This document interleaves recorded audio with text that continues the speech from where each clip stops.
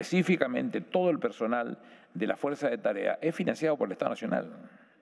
¿Eh? Este, no, no digo porque ha habido, ha habido casos donde se les ha dicho que se les iba a financiar y no se les financiaron. Acá nadie dejó de cobrar un centavo y toda la inversión en logística es del Estado Nacional. Lo que usted decía que no hay cromatógrafos, no lo había porque no había mediciones y las mediciones no se podían importar. Las hemos importado nosotros esas mediciones, pero no hay ninguno que tenga necesidad de hacerlo que no se lo podamos hacer con las fuerzas federales.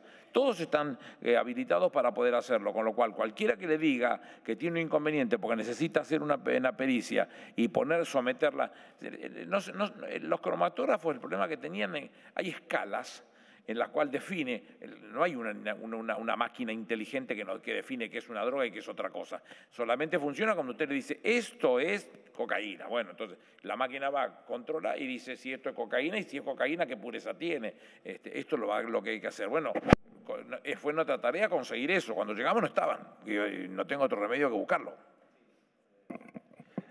No, eh, senador, vamos para...